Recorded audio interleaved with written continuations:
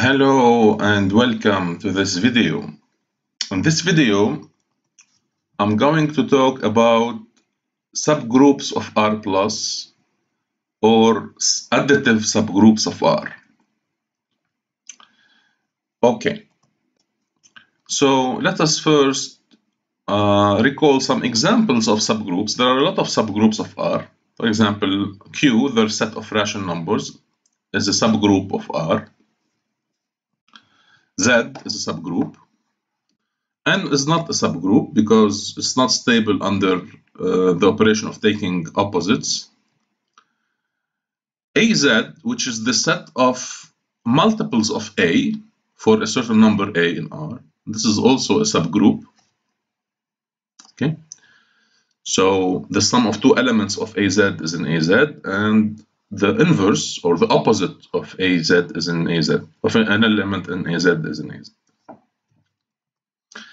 Okay, and we can combine subgroups. The sum of two subgroups is also a subgroup.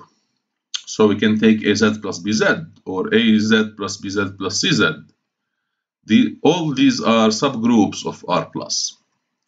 We can take Q plus AZ. Of course, if A is uh, rational, this is just Q. But if A is irrational, this is something new, right? And so on. Now, I'm going to state a theorem uh, which in some sense classifies the subgroups of R plus into two categories. Okay. If G is a subgroup, subgroup of R plus, then either G is of the form AZ for some A in R, or G is dense in R. For example, Q is dense in R. And you shall give other examples actually, other than Q. Okay. So in case A, G is closed because like the, the, we proved that Z is closed, but AZ is just a copy of Z if you like. So it's closed and discrete, which means that all points of G are isolated. Like so the case AZ is just like Z. Okay. So let us prove this. If G is a subgroup of R plus, okay, we have a trivial case. If G is the trivial group, which happens actually, because there are two trivial groups, the zero, the, the, the zero group, and the R, the R group itself, or these are two trivial cases, but we are not interested in them. So we eliminate the case, if G is the trivial group, then of course G is of the form 0Z, right? So not interesting. So we assume now that G contains an element different from 0. Now, since G is a group, then G contains positive numbers and as well as negative numbers. Why? Because A is stable under the operation of taking the opposite. So if A is in G, then minus A is in G. Now, among A and minus A, one is positive, the other is negative, right? So consider the positive elements of G and call it G plus. Okay, we exclude zero. Now, G plus is not a group. It's not a subgroup of R plus, right? Because it's not stable under the operation of taking the opposite. And consider the infimum of G plus, the infimum of G plus. By the way, I used to say infimum, but it's actually infimum. So, since all the elements of G plus are bigger than zero, then A, the infimum, is greater or equal than zero. So we just so we have two cases. The case where A is strictly positive and the case where A is strictly zero. The case where A is strictly positive will give us the first case, and the case A equals zero will give us the second case. Right? Okay, so suppose that the infimum is positive. We first claim that this A actually belongs to G. How do we know that? We reason by contradiction. Suppose A is not in G. Now we first observe that 2A is bigger than A, right? Because A is positive. And A is the greatest lower bound of G plus. So anything greater is not a lower bound. So 2a is not a lower bound of G plus. This is something that we used already actually. So what does it mean that 2a is not a lower bound of G plus? It means that some element of G plus is not greater or equal than 2a. So it's less than 2a. Now, in principle, B is bigger or equal than A. But since A is not in G, B cannot be equal to A because B is in G and, and G plus, so it's in G, but A is not in G. So we have strict inequality. And now we repeat this argument another time. B is bigger than A. So B is not a lower bound of G plus. So there exists a third element C which is between A and B. And once again, C is different from A because A is not in G and C is in G. Okay, now observe that B minus C, because B is less than 2A, once we subtract C, we get B minus C less than 2A minus C. Now, I claim that 2A minus C is less than A. Why? Because A is less than C. So uh, if we if we subtract c and add a, we get this. So a minus c plus a is less than a. Right? Okay. So what do we have now? We have b minus c less, less strictly than 2a minus c, and 2a minus c less than a. So b minus c is less than a. And now we get a contradiction because b and c are by construction elements of G. And since G is a group, the difference of two elements is still inside the group. So B minus C is an element of G, first thing. But because B is greater than C, the difference is positive. Okay, so B minus C actually belongs to G plus. Uh. So it should, so from the one hand, it should be bigger than, since, since it's an element of G plus, it should be greater or equal than the lower bound, than the, than the infimum of G, which is A. So it should have B minus C bigger or equal than A. But by construction, B minus C is strictly less than A. And this is a contradiction. So the claim is proved. So this element A, which is the infimum, if it's positive, then necessarily it belongs to G. Of course, if it's zero, uh, it belongs to G because any subgroup contains zero. Okay, so if A is in, is in G, then any, and G is a group, then any multiple of A is in G. So A minus A is in G, 2A is in G, minus 2A is in G. So all multiples, positive or negative of A, are in G. So the group AZ is contained in G. So I have to prove now the reversed inclusion. So take an element, an arbitrary element, small g in capital G. I want to prove that small g is an AZ. It's of the form NA. So take n to be the floor function of g over a. Okay, so what do we have now? g is in capital G and a is in capital G. So NA is in capital G the difference of two elements of G is in G. So G minus NA is in capital G, is in the group. On the other hand, by the definition or by a property of the floor function that we already used several times, the floor function of a number is between this number minus 1 and the number itself. We already observed this by definition. So what do you have now? if n is less or equal than g over a, then na is less or equal than g, so g minus na is bigger or equal than 0. So this inequality here gives us that g minus a is bigger or equal than 0. Now, if I factor by a, I get a times g over a minus n. Now, g, min g over a minus n is less than 1 by this inequality. So when I multiply by a, which is positive, I get that this quantity is less than a. Uh, so what do so what do we have to conclude actually?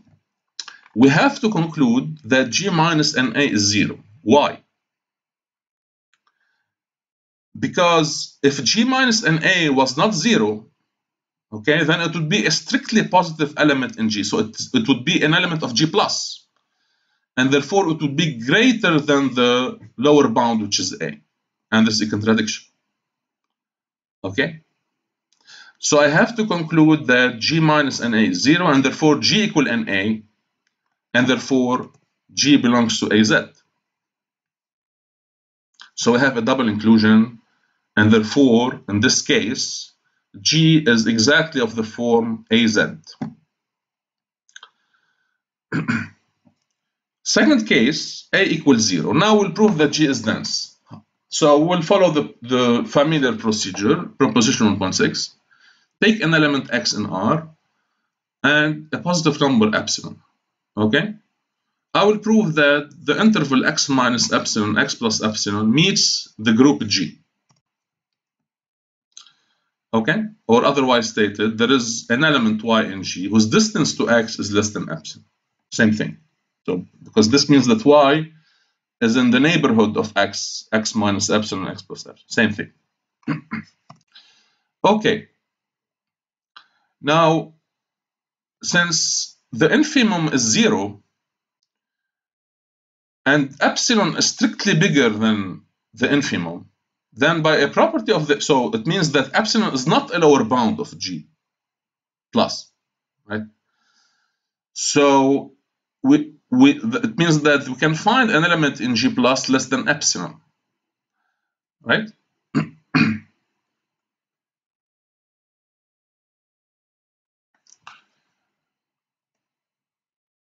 now we take Y to be n times g, where n is the floor function of x over g.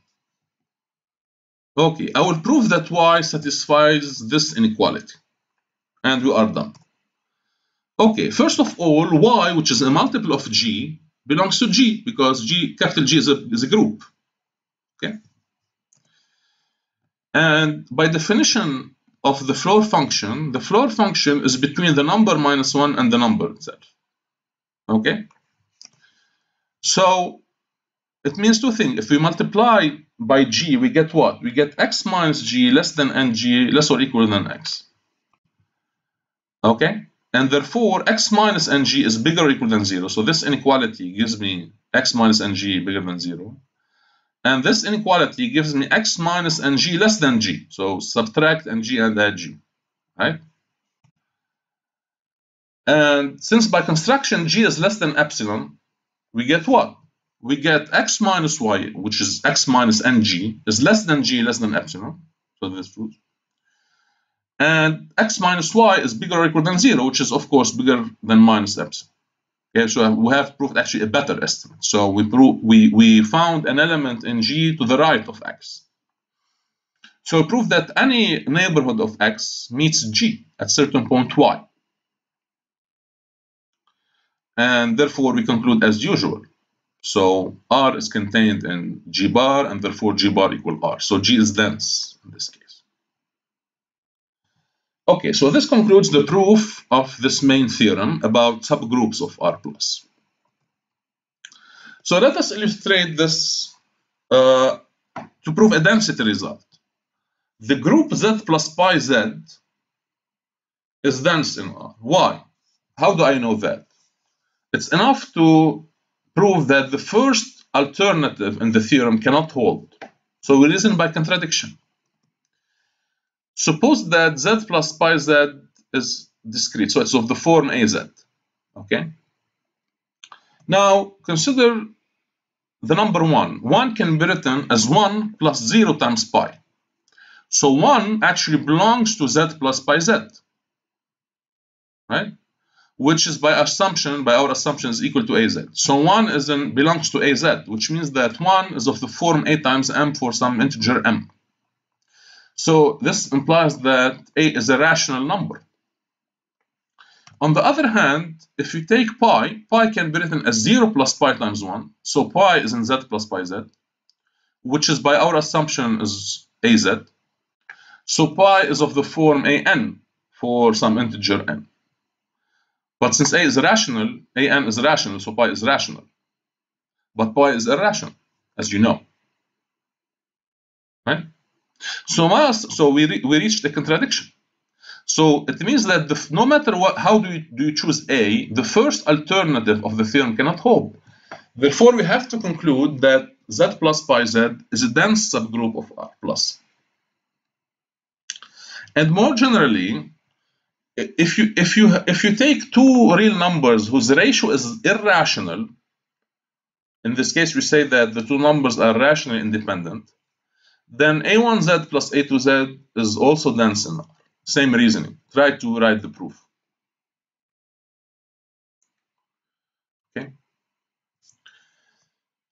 And now we can solve an exercise which is which uh, is in your book actually we have to prove that the set of elements of the form cosine n, when n is an integer, is dense in minus 1.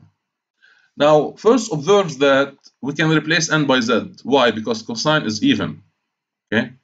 So, if you write this as union of two things, cosine n, n and n, or z plus, and co union cosine n, n is in n minus, and z minus, these two coincide.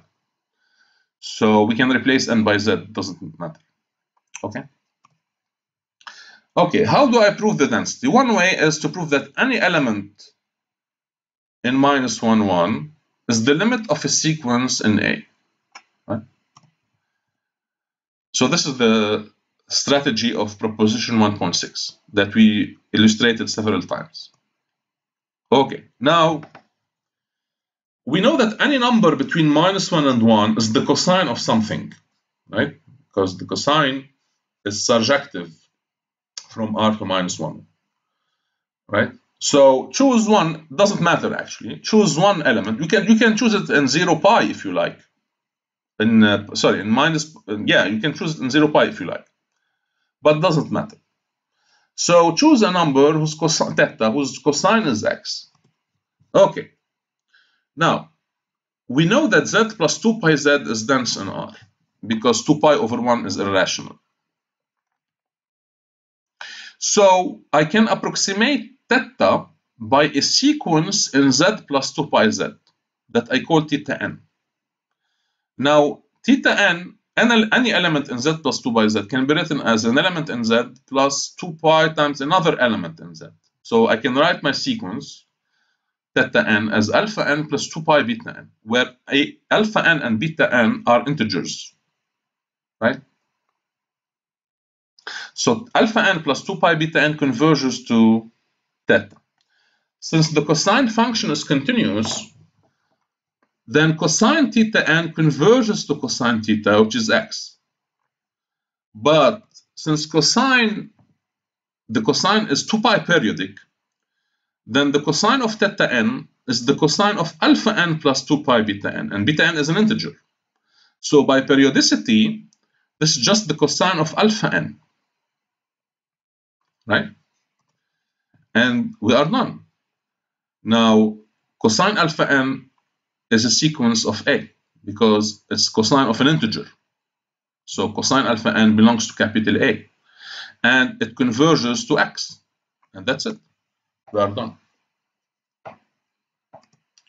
Okay, so this concludes the first appendix to chapter 1 about subgroups of R+.